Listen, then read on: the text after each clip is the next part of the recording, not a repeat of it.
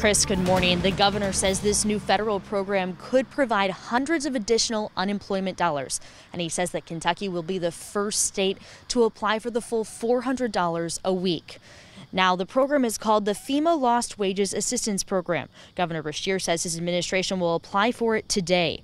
Earlier this month, President Trump freed up $44 billion from FEMA's Disaster Relief Fund to help out Americans who are out of work because of the pandemic. A number of states have already been approved, providing between $100 and $300 per week on top of their normal unemployment benefits.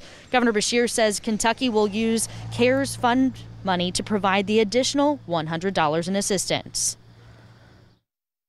We know how this money moves through the economy. We know how important it is to these families.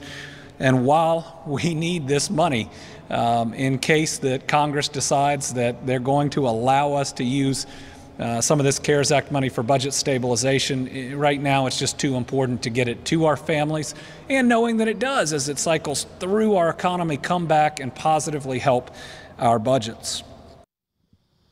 The governor said those who applied and received the initial $600 benefit will likely also qualify for this $400 benefit. Chris, back to you. All right.